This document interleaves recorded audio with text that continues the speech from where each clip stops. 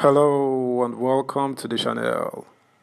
A well placed insider has laid the blame squarely at the doorstep of the presidency in relation to the continuous oil theft carried out in the country. He says the only reason it persists is because the president allows it. Indicting, but not at all surprising. I'm sure every one of us know they've all been in on it. Our president, them. Let's talk details. Subscribe, like, share, and comment. Thank you.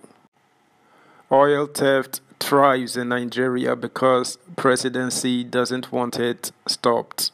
Bayelsa Monarch the Ibenanaowei of Ekpetiama Kingdom and Chairman Council of Traditional Rulers in Bayelsa State, King Bubaraye Dakolo Agada IV, has blamed the presidency and the Nigerian government for the incessant oil theft in the country.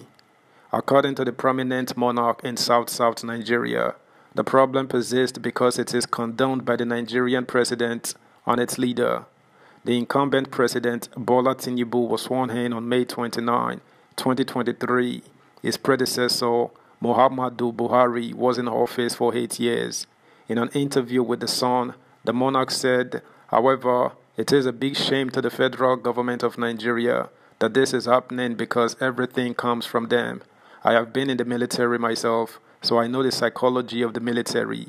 Today, if Mr. President wants to stop crude oil theft, 14 days is too much. He will stop it.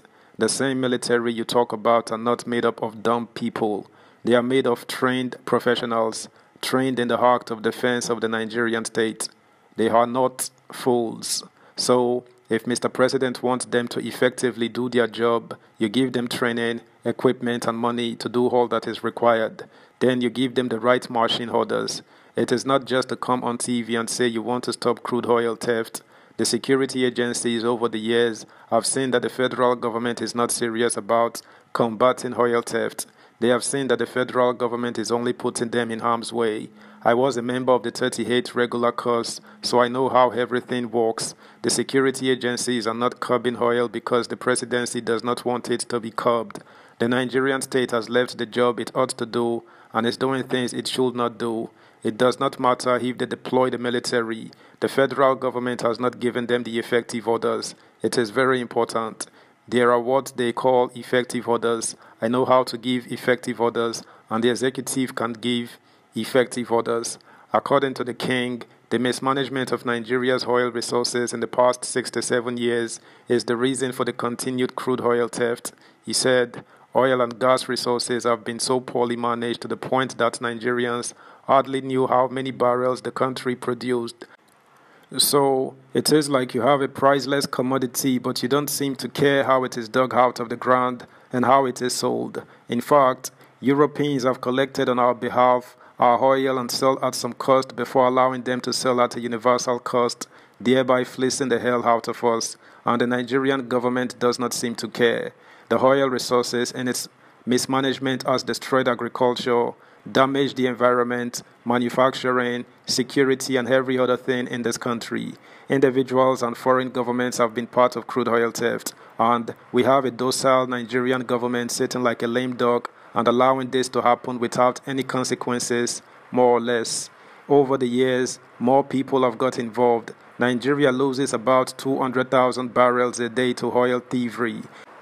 That is the statistics. It is not from me. NNPC can corroborate. At one time last year, NNPC said it was losing $750 million every month. The quantum of oil being stolen cannot be stolen by one riffraff. You can't steal this oil and put it in your back pocket. It is stolen and put into a large ocean going vessel, stolen from the real terminals where oil is supposed to be exported. This is what has been going on for years. Nigeria has lost so much money to oil thievery. Oil theft is now like a national pastime. Subscribe, like, share, comment, and please turn the notification bell on. Thank you. The federal government has been joking over the crude oil theft. In the last eight years, Nigeria had a president who was also the petroleum minister. That was when the crime in the oil industry went to the highest level in history. The military is a subordinate institution in the governance of this country. They are answerable to civilian authority. Civilians must learn how to call a spade a spade and allow the military to function. The reason we are alive is because we have not given up hope. I would not give up hope, and I expect him to do his best for the Niger Delta. Doing his best for the Niger Delta actually means doing his best for the country. The reason why Nigeria is suffering is because of the insincerity of the Nigerian government to the Niger Delta people. Oil is the main source of revenue for Nigeria, and yet Nigeria is not fair to the people where the revenue comes from. If you go around the Niger Delta, you will see squalor side by side with opulence and affluence. So long as the Nigerian state wants to remain detached from the issues in the Niger Delta, so long the country will continue to suffer. President Tinubu will need to be fair, extremely fair to the people of the Niger Delta. He should not just have a ministry of Niger Delta, but a ministry of Niger Delta that he would ensure does its work.